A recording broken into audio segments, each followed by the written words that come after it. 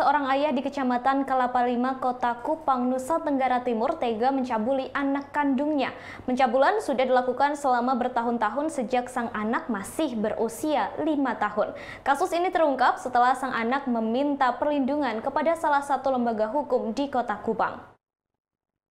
Pelaku berinisial SYN sudah melakukan pencabulan terhadap anak kandungnya sebanyak empat kali. Kapolres Kupang Kota Satria Perdana mengatakan pelaku adalah seorang residivis kasus KDRT yang baru keluar dari lapas pada September 2020 lalu. Dari hasil visum terhadap korban di Rumah Sakit Bayangkara Titus Uli Kupang, korban mengalami kekerasan seksual sejak berusia lima tahun. Kini korban sedang menjalani rehabilitasi dan pendampingan oleh psikolog dari Polres Kupang Kota. Kini tersangka ditahan di Mapolres Kupang Kota untuk menjalani proses hukum selanjutnya. Akibat perbuatannya, SYN kini diancam pasal perlindungan anak dengan ancaman hukuman 15 tahun penjara.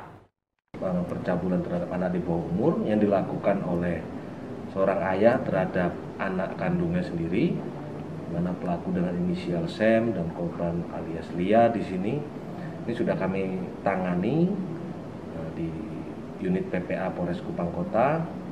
Dan disampaikan kepada rekan-rekan sekalian untuk pelaku atau tersangka ini merupakan residivis dan baru keluar dari uh, lapas sekitar bulan September tahun 2020 untuk kasus KDRT tahun sebelumnya.